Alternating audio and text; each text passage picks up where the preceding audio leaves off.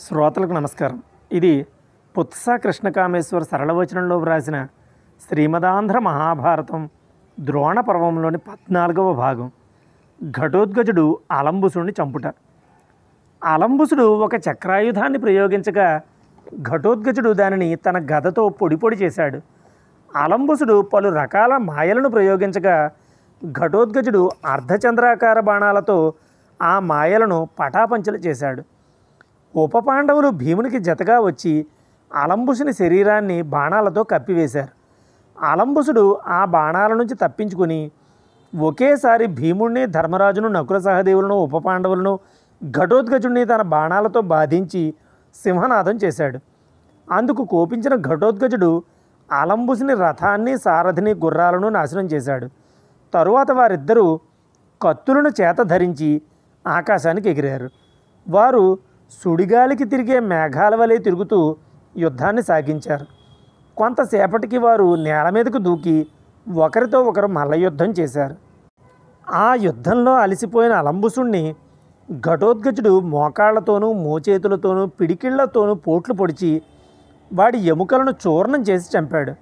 పిదప ఘటోద్గజుడు పెద్దగా సింహనాదం చేయగా పాండవ సైన్యాలు కూడా సింహనాదాలు చేశాయని సంజయుడు ధృతరాష్ట్రునితో చెప్పాడు. అప్పుడు ధృతరాష్ట్రుడు సంజయ అంతకు ముందు ఘటోద్గజునికి సాత్యకి సహాయంగా వచ్చాడన్నావు కదా. అతనికి ద్రోణుడికి ఏమైనా యుద్ధం జరిగిందా? ఆ వివరాలు నాకు తెలియజేయి అని అడిగాడు. అప్పుడు సంజయుడు మహారాజా సాత్యకి కౌరవ సైన్యాన్ని పొడి పొడి చేస్తున్న సమయంలో ద్రోణుడు అతన్ని ఎదుర్కొన్నాడు.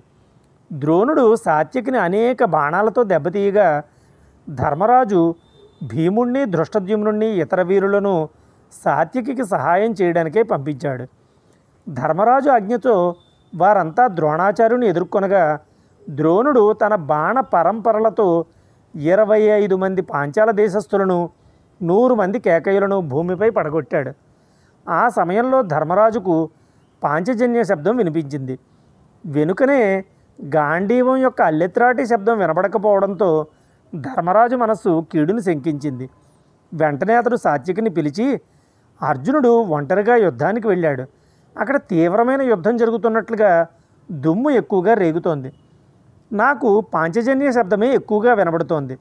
ఒకవేళ అర్జునుడు అక్కడ కౌరవుల చేతిలో చిక్కుకున్నాడేమో నీవు వెంటనే అతనికి తోడుగా వెళ్ళు అని ధర్మరాజు సాత్యకిని కోరాడు.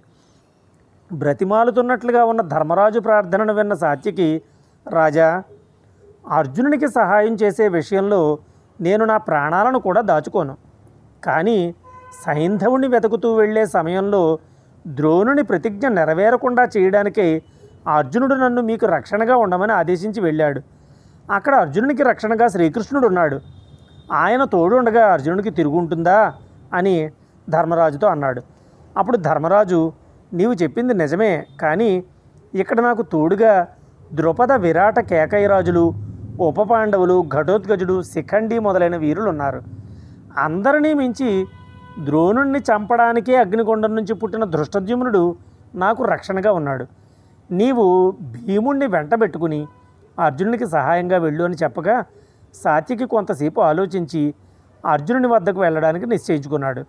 పిదపాతడు ధర్మరాజు ఆశీర్వాదాన్ని అందుకున్నాడు.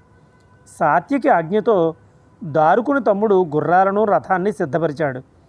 భీముడు సాత్యకి వెంట వెళ్ళడానికి సిద్ధపడగా సాత్విక అతన్ని వారించి ధర్మరాజుకు తోడుగా అక్కడే ఉండమని చెప్పాడు. ఇంకా భీమసేన అర్జునుడు సైంధవుణ్ణి వధించిన తరువాత వచ్చి నిన్ను మీ అన్నగారిని కౌగిలించుకుంటాను అని చెప్పి ఒంటరిగానే కౌరవ సైన్యం మీదకు దూకాడని సంజయుడు ధృతరాష్ట్రునితో చెప్పాడు. అప్పుడు ధృతరాష్ట్రుడు సంజయ సాత్విక ఆ విధంగా అర్జునుడిని కలవడానికి వెళ్తుంటే మన వీరులు అతన్ని ఎదిరించలేదా అని సంజయుడిని ప్రశ్నించాడు. అందుకు అతడు ఇలా సమాధానం చెప్పసాగాడు. మహారాజా తన తమ్మునికి సహాయంగా వెళ్ళమని సాత్యకిని ఆజ్ఞాపించిన తరువాత ధర్మరాజు ద్రోణుణ్ణి తరిమాడు.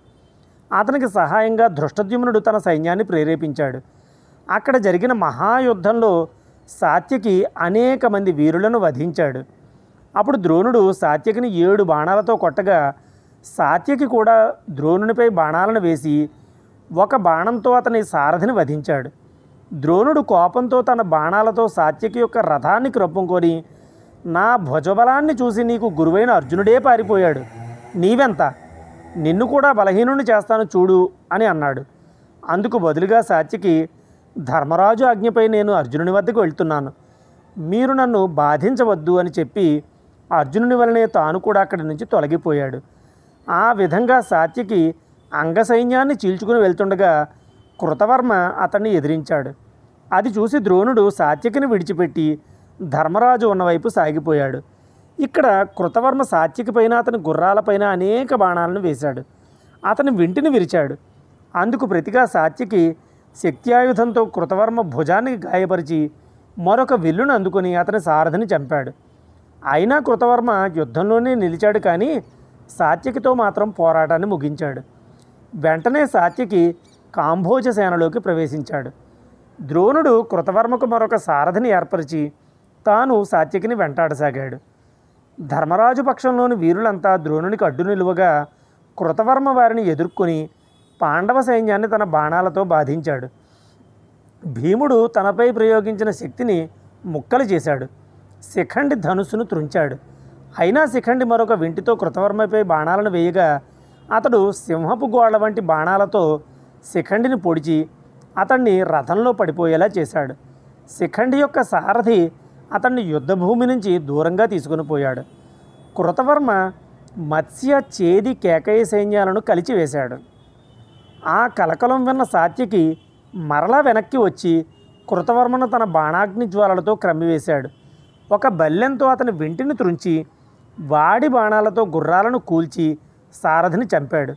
ఆ సమయంలో తనకు అడ్డం వచ్చిన త్రిగర్త సైన్యాన్ని కూడా సాత్యకి కూల్చివేశాడు. మగధ దేశపు రాజైన జలసంధుడు తన మదపుటేనుగుతో వచ్చి సాత్యకి ఎదురు నిలిచి సాత్యకి ధనుస్సును విరిచాడు. యాభై బాణాలను సాత్యకి గుండెల మీద నాటాడు. అందుకు కోపించిన సాత్యకి పెద్ద ధనుస్సును చేతబట్టి జలసంధుని వెంటిని విరిచి అతని తలను త్రుంచివేశాడు. మరొక బాణంతో అతని మదపుటేనుగుని చంపాడు. దాంతో అక్కడ సైన్యం వణికిపోసాగింది. అప్పుడు దుర్యోధనుడు తన తమ్ముళ్ళైన దుర్మర్షణ దుస్సహ వికర్ణ దుర్ముఖ దుశ్శాసన చిత్రసేనులతో కలిసి సాత్యకిని ఎదిరించాడు. కృతవర్మ కూడా వారికి జత కలిశాడు. వారంతా ఏకమై సాత్యకిపై పలు బాణాలను వేశారు. అందుకు జంకని సాత్యకి దుర్యోధనుడి వింటిని త్రుంచి అతని శరీరంపై పలు బాణాలను వేసి అతన్ని నొప్పించాడు. అంతేకాక అతని గుర్రాలను సారథిని చంపాడు. దాంతో దుర్యోధనుడు పారిపోయి చిత్రసేనుని రథం ఎక్కాడు. అప్పుడు కృతవర్మ అక్కడికి రాగా సాత్యకి కృతవర్మను మించి అతని గుర్రాలను చంపి వింటిని విరిచి ఒక పెద్ద బాణం అతని శరీరాన్ని చీల్చుకుని పోయేలా ప్రయోగించాడు. దాంతో కృతవర్మ మూర్ఛబోగా అతడు చనిపోయాడని భావించి సాత్యకి అర్జునుడు ఉండే వైపుకు పోసాగాడు. కొంతసేపటికి కృతవర్మ తెప్పరిల్లి భీమాదులకు అడ్డు తగిలాడు. ద్రోణుడు అతన్ని అక్కడ విడిచి సాత్యకి వెనుకనే వెళ్ళాడు.